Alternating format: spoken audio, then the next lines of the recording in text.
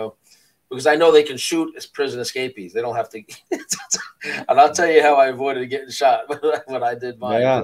I thought they were going to kill me because so, I was a law clerk. Unfortunately, I knew the law about that. They don't have to. Uh, once you escape from prison, it's game on.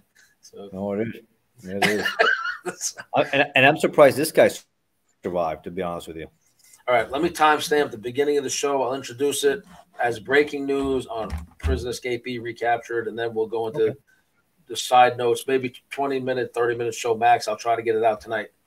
Okay. All right. So let me see 51, 35.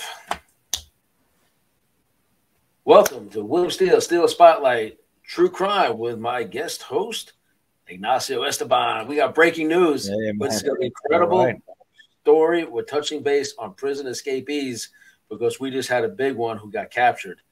So, yes. Ignacio, welcome back to the show. What do we got going on in the news right now? Nice to be back, man. I, I saw that uh, also with all, all, these SWAT members for a few weeks out of Pennsylvania. Amazing. Yeah. He went to someone's house, stole a rifle, 22 caliber rifle, right? The owners were shooting at him when he uh-huh. escaped, ran out with it. I mean, this guy was an absolute menace and danger. And after a few weeks being out, they finally captured him. It's amazing. You haven't seen the video? Watch him how he shimmies out out there, and over he went over the top. That's that's really really amazing. Two walls, and he's able to shimmy like this, uh-huh. and up he went. Uh, and and he was gone for two and a half weeks. I'm surprised, and, and I know there's a picture of how many SWAT members and other law enforcement were involved in his pursuit. And at the end, they were posing with him. Some controversy over that, but hey, listen, it was hard work. They got the guy. He was a danger. He's stealing rifles. Yeah, he was like a trophy picture. They they posed with him rightfully so. He, he's a, he's a piece of work, but uh, they captured him, and now he's gonna get a lot more time. He was better off. It wasn't worth it. Anytime you escape, Bill, I know you can talk about this. It's not worth escaping because a lot of times they give you another hammer. Boom.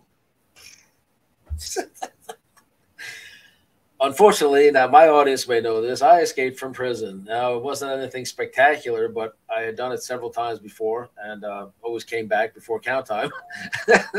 this time, I decided to stay gone. But we'll get into that in a minute. Bill, let me ask you, how would you how would you escape?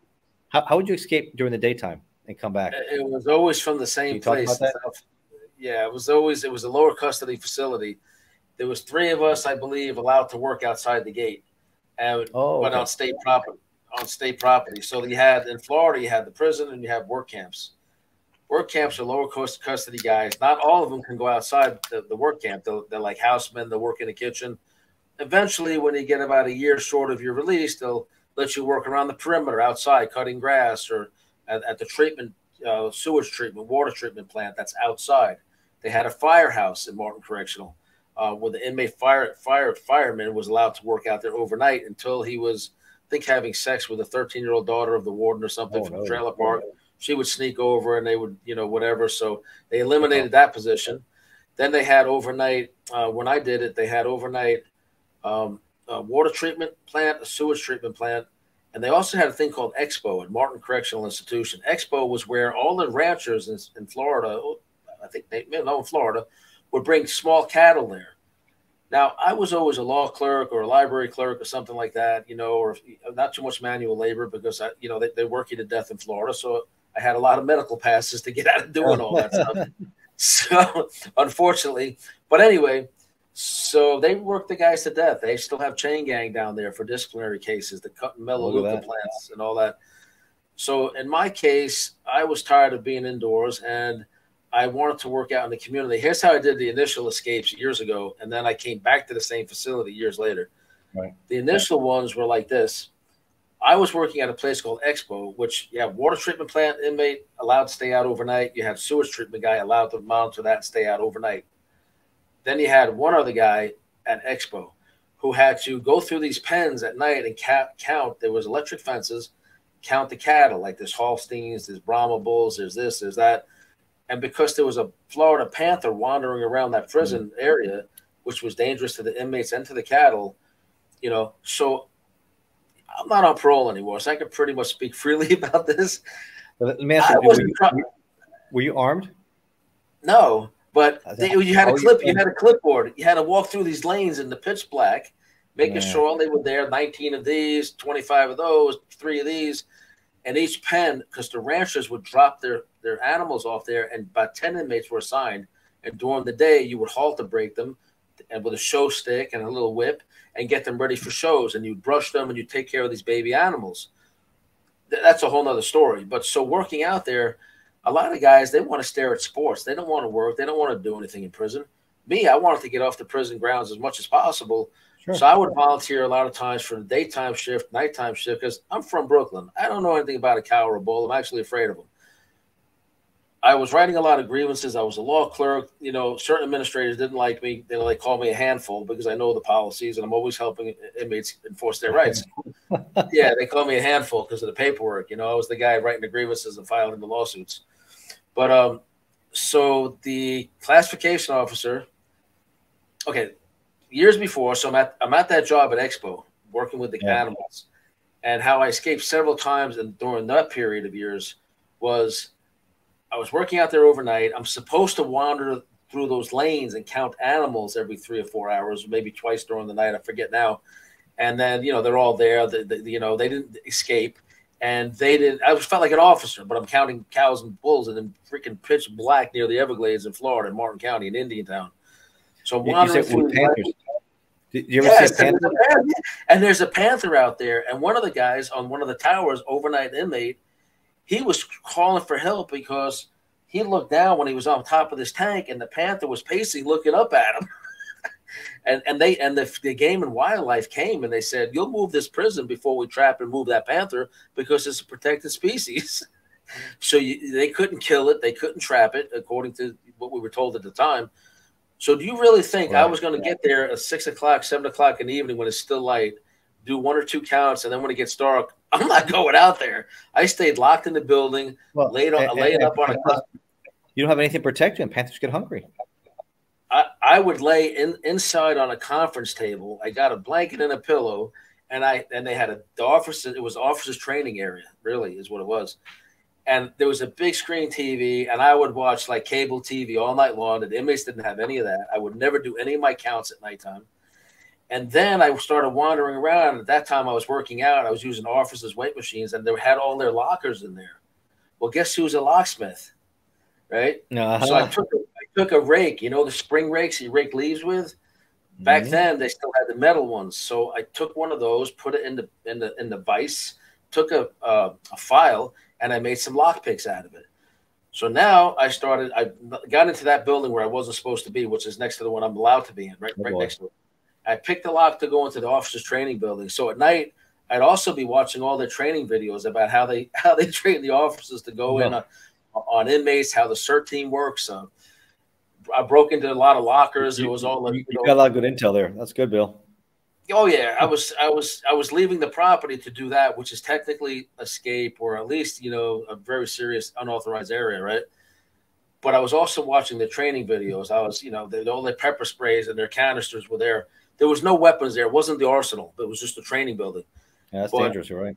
Yeah, but all their gear was there. Like there's to, to rush into the prisoners and all this stuff. It was it was held out there. So it got so easy that when I worked during the day, especially during sports season, whatever was playing, guys who came to relieve me would when the, before they got out of the van, they they called me New York. Hey, New York, can you work my shift, man? I, I had to come out here because the officer has to sign off on it. The officer driving the other mm-hmm. guy out there. As long as the person reported and the officer transporting agreed, I could stay out and work somebody else's shift, but you could only do that for two shifts. There was times I was outside the fence for like three day period on Friday oh. through you know, Monday morning, and nobody was catching on.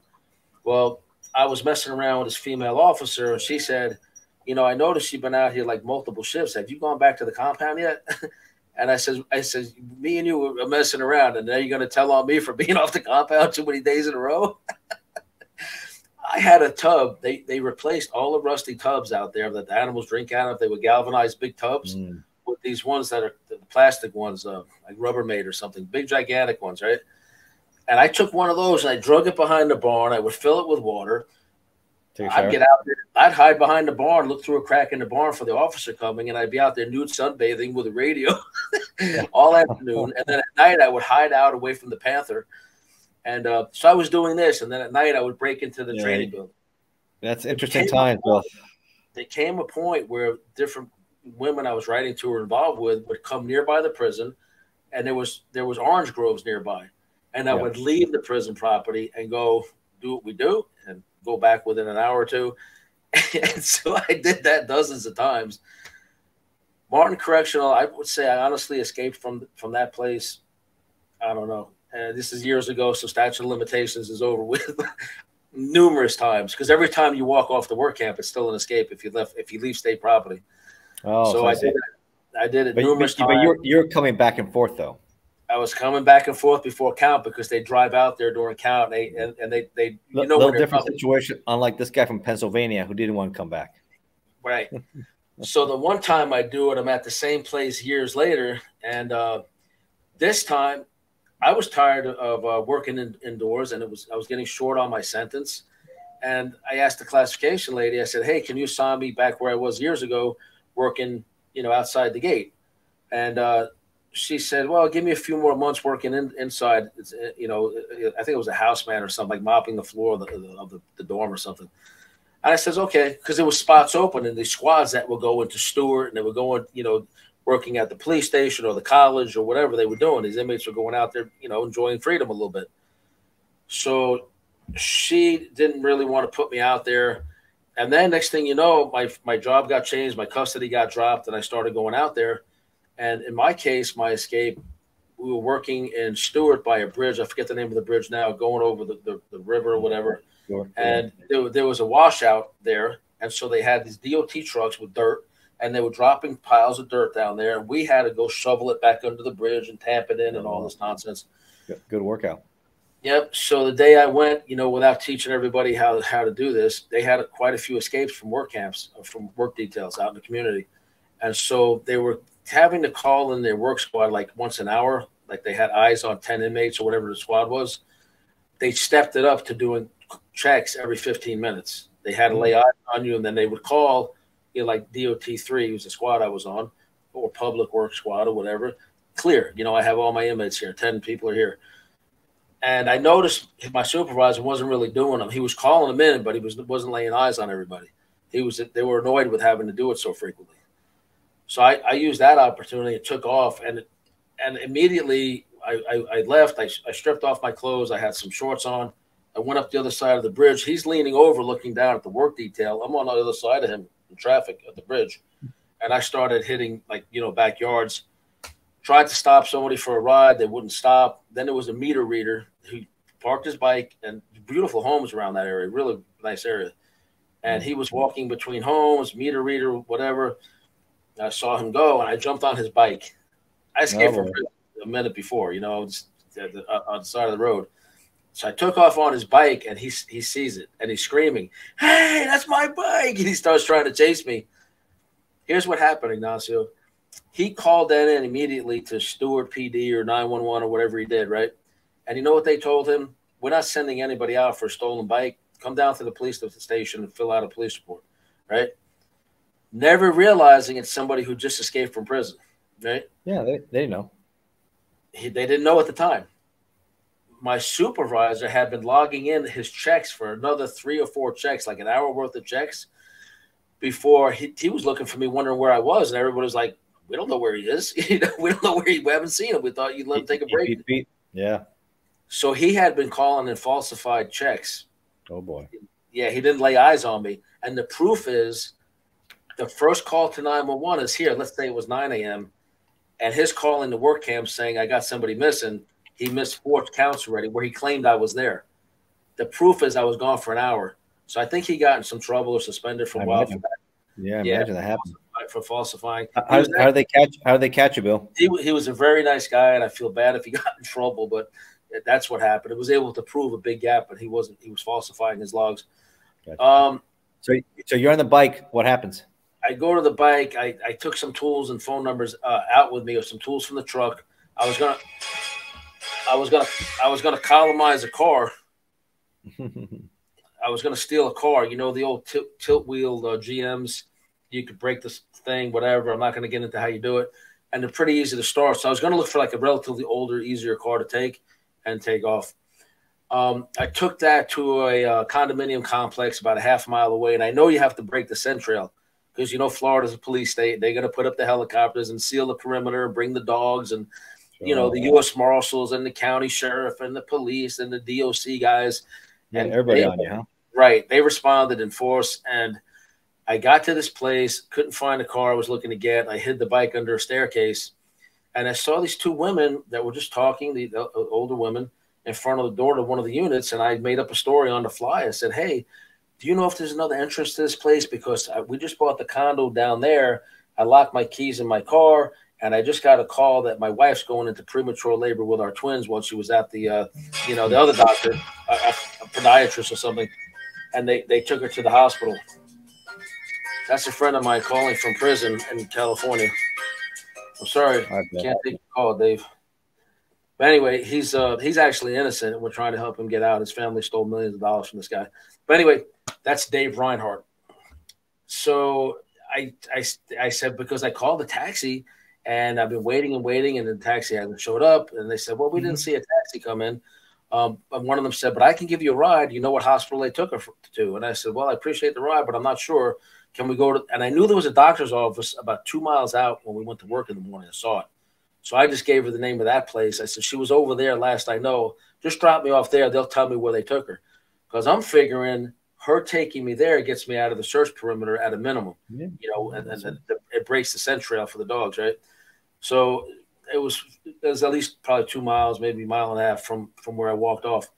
And uh, so she she gets me in the car, and oh, I had my my prison clothes rolled up under my arm, and I had brand new t-shirt, brand new shorts on that I wore outside the gate that morning. I was running late for the gate, and the worst officer in the world was working the gate. And you can't go with anything but your uniform and your ID to work. Looks like he wants to talk, Bill. We might have to cut this one short. Uh, he'll, he'll, he'll try later.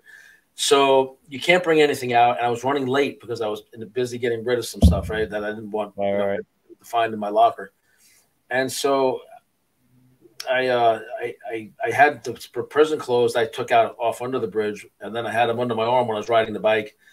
And I didn't want to just leave them anyway, because you know Florida's the blue with the white stripe down the leg and all that. So those are rolled up. And she said, "Sure, let me just go in for a minute, lock up, and then I'll, you come with me." And her friend walked off, and I said, "Can you give me a plastic bag? I'm renovating the condo, and these are really dirty, and I want to put them in something." So she brought me a plastic bag. I put the prison clothes in there we go to the doctor's office. I she's waiting in front. I'm like, man, this lady's going to wait for me. So I went back out. I said, oh, they said they took her to you know whatever uh, Port St. Lucie Medical Center, whatever whatever the hospital was. And uh, she says, well, what are you going to do? I said, well, I can call for, for, a taxi or something, get myself up there. Oh no, I insist. You're in the car already. Let's go. so now this lady's helping me get further from the scene of the escape. You know, where, where, yeah. I'm going. I'm going north. This happened at three different places. Everywhere I went, she says, "Come back out and let me know what's going on." And she's active in her church. And I felt like crap for lying to her. She was a nice, really nice person. And uh, yeah, so so we get to uh, the final place, and at that point, I'm just look. I'm going to the visitors areas, and I'm looking for keys because because sometimes people just leave them on the counter, and then if you get the remote control, you can hit it and see which car it goes to, and just drive off with somebody else's car get out of the area. Yeah. So at this point, I'm starting to see a lot of law enforcement and traffic along US one, helicopters, right, or like at least one, like everywhere, going up and down. What happened was that they did track me right to her front door with, with dogs. Like even even even though I was on a bike, somehow they tracked me right to her front door. They started showing my flyer around. Now I'm in the car with her for like over an hour already. So they had plenty of time to kind of know who took me somewhere and what she's driving. They knew she was driving a white, I think it was a Ford Escape or something. It was ironic, right? this escape wheel. Her friend said, "Oh my God, she just gave him a ride. He's going to check up oh, on his oh, wow. pregnant wife having given birth to the twins." And they're like, "He doesn't have a wife. They're not having twins, and he just escaped from prison." And the lady nearly fainted, you know, worried about her friend and we're just talking about the Bible, and we're talking about you know, yeah. If, if, you, if, you're a different kind of guy, maybe you would have killed her and taken the car. I'm not that kind of guy. I, yeah. I felt bad. I was lying to her, but um, so we get to like the, this final spot. She says, "Well, there's a lot of cops around. She's a lot of police driving around US one. Maybe we'll just flag one of them down and see if they could call it in and see what, what hospital they took her to." Like, no, thank you. And I says, "No, no, no. You see that patio furniture store over there? My uncle works there. He'll let me use his car and phone." And you know, I didn't want her talking to cops because they're looking for me right now. Yeah. That's why they're in traffic. So we pull in there, and I notice there's no cars in front of it yet. And I say, "Let me off at the Burger King." Goes I'm having blood sugar issues. I need to grab something to eat before I walk back over there. She drops me off at the Burger King. She says, Bill, you said you locked your keys and your wallet in the car. And she takes out a $20 bill. And I, I said, I can't accept your money. I've lied to her. She's offering me money to eat. And she said, Oh, you know, come to my church, you know, if you want to reimburse me, but I'm not worried about it. I just can't wait to meet you and your wife. And and I accepted the money. I said, and then she wanted to pray with me, right? And I said, before we pray, can I tell you something? I said, because I can't continue on this line of, you know, conversations. And I just was so guilt stricken.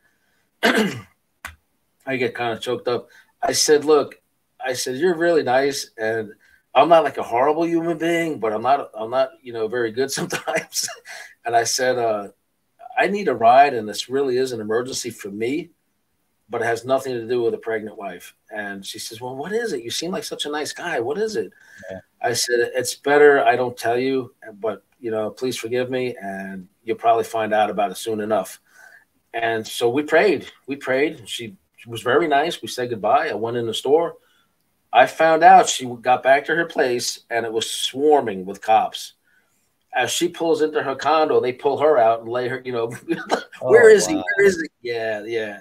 So and she she almost had a nervous breakdown over this. I imagine. I imagine. But she said, she said, if that guy's in prison, this our system is broken. That's one thing the detective told me. She said really? that lady did nothing but speak positively about you and how polite you were and that you tried to tell her the truth and everything. And, and, and what happened? They, they, got you near the, the Burger King or something? No, I was out for two weeks at the Burger King. Oh. I uh, I took the clothes. I went to the I, I, I, went to the restroom. I took the clothes. I, I moved the, uh, the trash in one of the cans. I put it to the bottom. I put some handfuls of water on top of it so nobody want to touch it. Put the steak clothes in that can, washed up a little bit, caught my breath, and by now there's a line for me. I actually wanted to get something to eat real quick, but I sure. knew she'd tell him where I was because she was getting home in about you know a few more miles, like you know maybe seven or eight miles away. I was in Fort Pierce, I believe, and she had to go back to Stuart. So I knew when she got home, she's going to say, "Hey, I just left him at Burger King," you know. So I knew I had to get out of there quick, and there was a big line. So I looked at all the cameras, looking down at the registers, you know, for the they're looking for the, the stick up guys, and I looked at one of the cameras and I went, I went like gave him one of those like real smart ass, and I left. But when I went to go leave and open the door, I was looking for a car to steal still. Mm. This guy comes walking in. He says, "Man, you look lost. Are you okay?"